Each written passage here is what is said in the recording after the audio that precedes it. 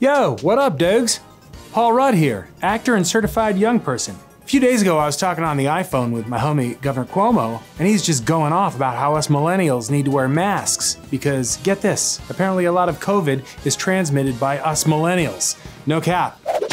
So Cuomo's asked me, he's like, Paul, you gotta help. What are you, like 26? And I didn't correct him.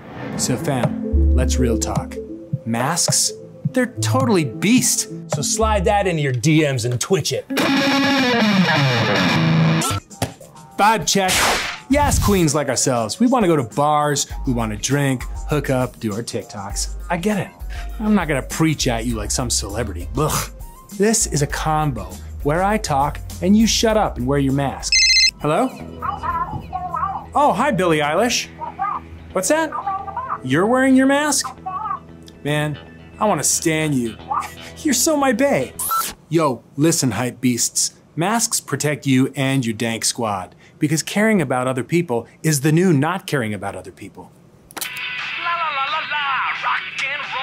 Now that's thick.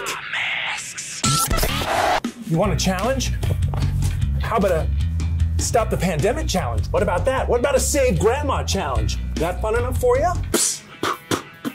My name is Paul, and I'm six feet tall almost. And I wear my mask, and it's all I ask that you wear your mask. Please wear your mask. Just wear a mask. Just wear a mask. It's easy. It's simple. Please. It's not hard. People are dying. Hundreds of thousands of people are dying, and it's preventable. It's preventable. Just wear a mask. I shouldn't have to make it fun. It's science.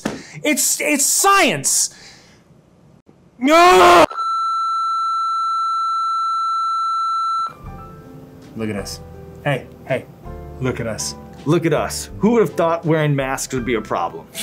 Not me. We gotta yeet this virus.